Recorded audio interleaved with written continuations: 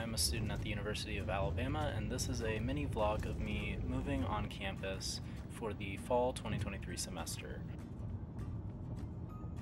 The building I'm moving into is one of the Ridgecrest buildings. It is in the northwestern corner of campus. Um, it's in a really nice area with a lot of the honors housing. Um, so here you can see just the hallway. Um, this is what the communal common space looks like for the entire floor. Um, and there's an oven and a fridge and a TV.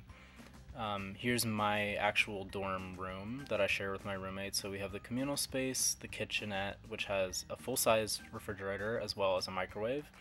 Uh, we have bathrooms. There's two bathrooms and then four roommates. So you know you just split it a two and two, uh, as well as a sink.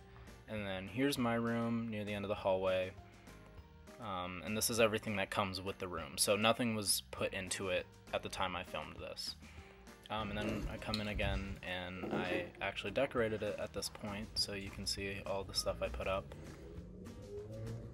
When I looked online, I found literally next to no information about Ridgecrest East and West, so I hope this gives you some insight if that's one of the dorms that you're looking at. Anyway, I'll be making more college related content in the future, so I hope to see you then. Roll Tide.